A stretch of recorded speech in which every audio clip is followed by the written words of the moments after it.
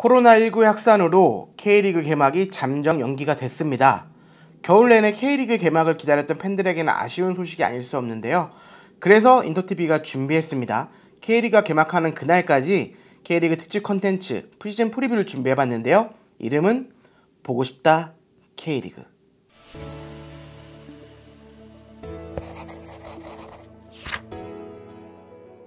보고 싶다 K리그 오늘 알아볼 팀은 FC 서울입니다. 최용수 감독의 FC 서울인데요. 지난 2018년 구단 역사상 처음으로 강등 위까지 갔다가 극적으로 살아났는데 지난 시즌 3위를 거둔 반전에 성공한 이 팀을 자세하게 알아보겠습니다. 지난 2018년 구단 역사상 처음으로 승강 피오까지 떨어졌던 FC 서울입니다. 강호의 이미지가 강했던 FC 서울이 그만큼 좀 추락을 했었는데요. FC서울의 레전드 최용수 감독이 돌아오면서 어느 정도 수습을 했고요. 모처럼 아시아 챔피언스리그에 복귀하면서 긍정적인 한 해를 보냈습니다. 특히 최용수 감독은 3백 전술을 좀 더 가다듬으면서 완성을 시켜갔고 어쨌든 어쨌든 팀을 빠르게 정비하면서 이런 조합과 변경 이런 걸 통해서 팀을 만들었고요. 인상적인 시즌을 보낸 FC 서울입니다.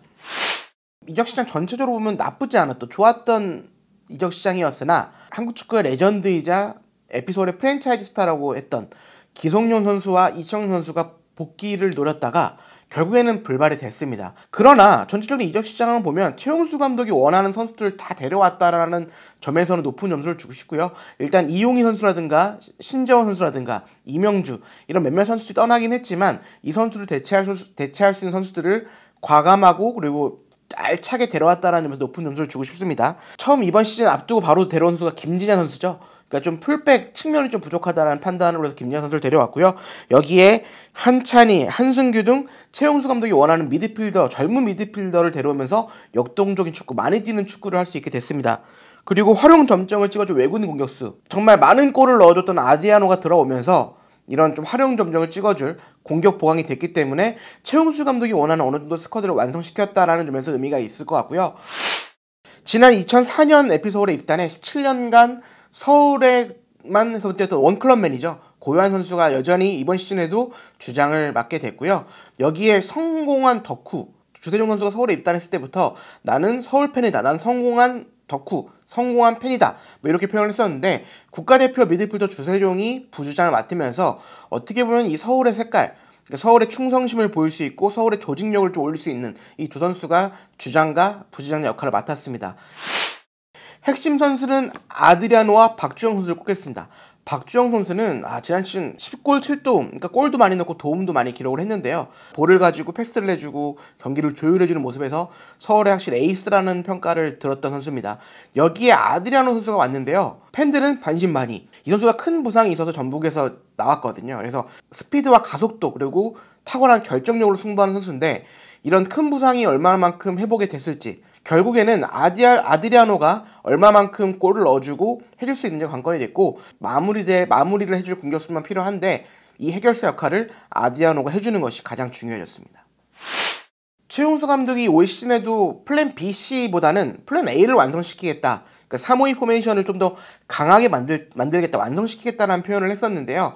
포지션은 똑같아요. 포메이션은 똑같은데 3백 중에서 좌우 센터백이 공격을 할 때는 과감하게 올라옵니다. 이렇게 왔다 갔다 좀 흐름을 이어가면서 공격 작업을 지원을 해주고 있고요. 중원에서는 강력한 압박과 그리고 세밀한 패스, 그러니까 강력한 압박을 전방부터 시작을 시, 도를 해서 상대의 실수를 이끌어내면 중원에서는 빠른 역습과 세밀한 패스, 좀 간결한 터치 플레이를 통해서 찬스를 만들겠다라. 그러니까 안정적인 수비, 끈끈한 조직력, 막강한 중원, 세밀한 패스, 그 다음에 마무리. 이 최용수 감독의 색깔을 확실하게 보여주는 전술이 이번에도 완성이 됐고요. 베스트 11을 좀 예상 베스트 11 보면은 뭐 352 포메이션을 기준으로 했을 때 골문은 유상훈 선수와 양한빈 선수가 지난 시즌에 이어 이번 시즌에 경쟁을 하게 됩니다. 3백에서는 김주성, 김남춘, 황현수 이 세 조합은 변화가 없을 것 같아요.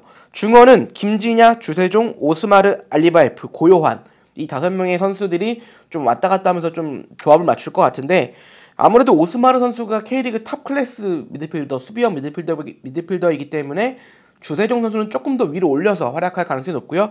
여기에 알리바예프가 호흡을 맞출 가능성이 높습니다. 투톱 박주영 선수와 페시치가 지난 시즌에 이어 활약을 하게 됐고요. 여기에 박동진과 아드리아노 그다음 조영우까지 이 세 선수가 백업 또는 주전으로 나올 수 있는 가능성이 있는 선수들이기 때문에 이 조합에 따라서 상대에 따라서 여러 다양한 공격 조합이 가능해진 FC 서울입니다.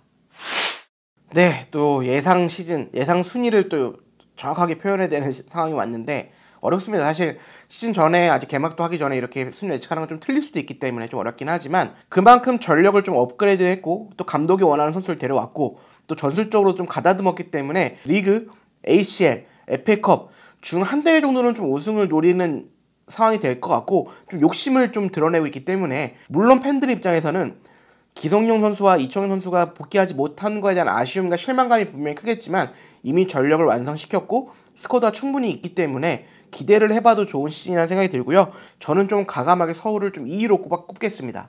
물론 비난도 많이 나올 것 같긴 하지만 서울이 그만큼 전력을 지난 시즌 유지를 해서 업그레이드를 했고 조직력을 끈끈하게 2년 동안 유지를 해왔기 때문에 그리고 최용수 감독의 저력이 있기 때문에 이번 시즌은 좀 기대를 해보겠습니다.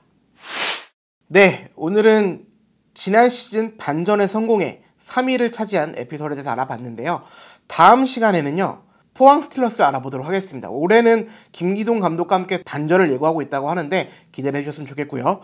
K리그 소식 및 기타 해외 축구 소식은 인터폴 홈페이지 그리고 인터TV에는 다양한 컨텐츠들이 앞으로도 올라올 예정이니까, 예정이니까 많이 기대해 주세요. 그럼 다음 영상에서 뵙도록 하겠습니다. 감사합니다.